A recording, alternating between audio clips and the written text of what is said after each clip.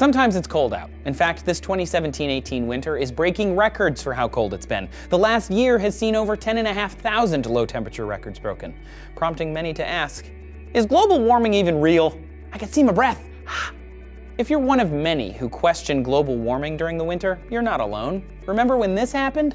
In case we have forgotten, because we keep hearing that 2014 has been the warmest year on record, I asked the chair, you know what this is?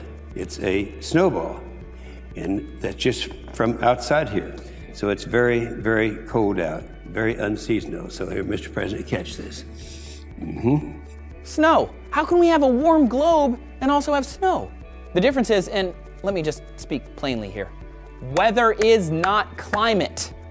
Or, put another way, weather is mood, climate is personality. You could tweet your hashtag current mood, but that doesn't mean it's your overall personality, right? When you think of the climate this way, it makes a lot more sense. Severe weather today, that's a mood. More severe weather over years or decades, that's Earth's personality. Citing severe weather as the reason there's no such thing as global warming is kind of like saying, I feel happy today, so there's no way I have depression, bipolar disorder, anxiety, or issues with anger. No one can deny that fluctuation is part of having a personality, and in this case, the personality of Mother Earth today is changing from how she used to be, and that's troubling. Now, if you're one of those who deny Mother Earth's personality is changing at all, you're not alone either. There are scientists who aren't sure if humans are causing this climate personality change. To that I say, picture Albuquerque. From 1991 to 2012, there were nearly 14,000 peer-reviewed published scientific papers exploring climate science. 24 of those dissented and didn't blame humans. To put those numbers in perspective, that's like saying every single person in the United States believes humans are causing climate change, but the population of Albuquerque doesn't.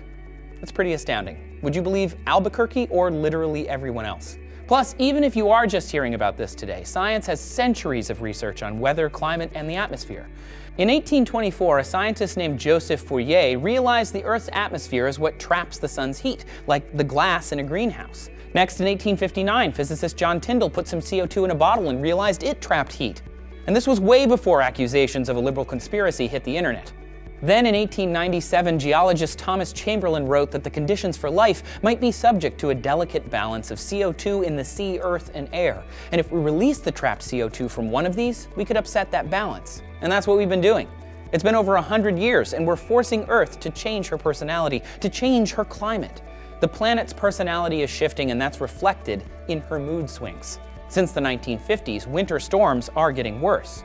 The heaviest storms happen when the surface temperature is between 32 and 28 degrees. That's still cold, Mr. Snowball in Congress, but it used to be much colder. This warmer air can hold more moisture, which means more snow, more rain, and less freezing.